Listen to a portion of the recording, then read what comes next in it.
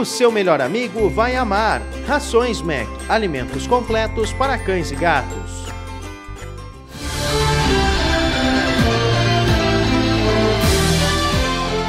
Segundo informações, uma equipe da Fundação de Proteção Ambiental, a FEPAM, esteve em Tapes realizando fiscalização na Cidade dos Cavalos. Acompanhados de um funcionário da Secretaria de Meio Ambiente do município, os técnicos da FEPAM vistoriaram a área que é considerada de preservação permanente.